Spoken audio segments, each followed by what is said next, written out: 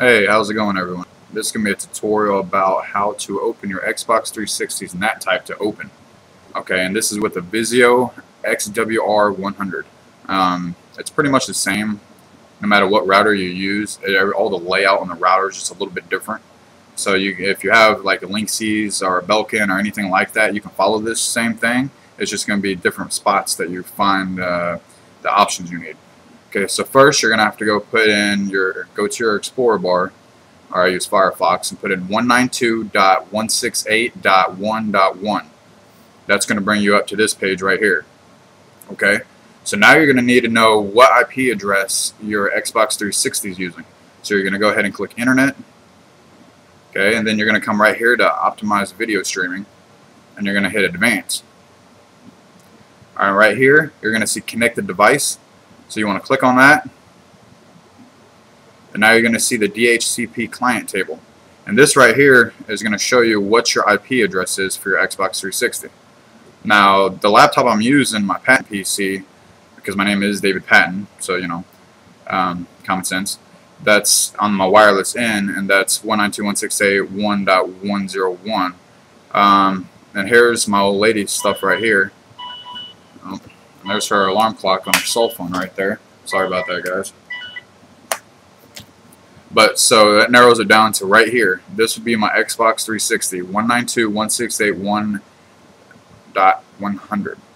So we know it ends in 100, okay? So we're going to hit exit. We're going to come back over here to Vizio. And right here where it says firewall, you're going to hit advance.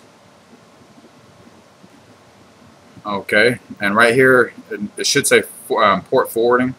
So no matter what router you're using, you just want to make sure you find the port forwarding tab.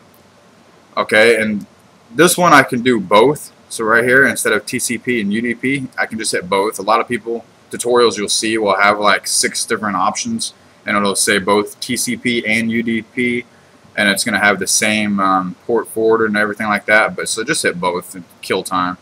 So right here, you're going to want to put Xbox. You can put uh, Xbox 360. You know, it doesn't really matter. Um, it's just for your reference.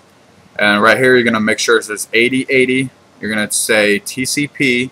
And right here, this is the important part. You're going to have to make sure it says whatever your Xbox was. Mine says 100, so of course it's going to be 100. Then I'm going to check on. You're going to do the same thing for all four. Sorry about that. Um, I'm going to leave it right here for just a second so you can see it so you don't have to sit there and pause it and whatnot.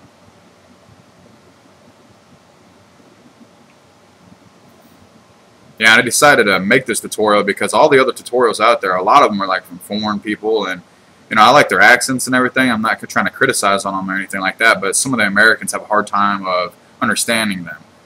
Um, I do talk pretty fast usually, so I mean, it, it, it just varies, I guess. Okay, so once you get that done, you're going to come down here and hit Save Changes. Let me go ahead and hit Save Changes. And see, there it goes. Now what you want to do is you want to come back up here and hit Vizio.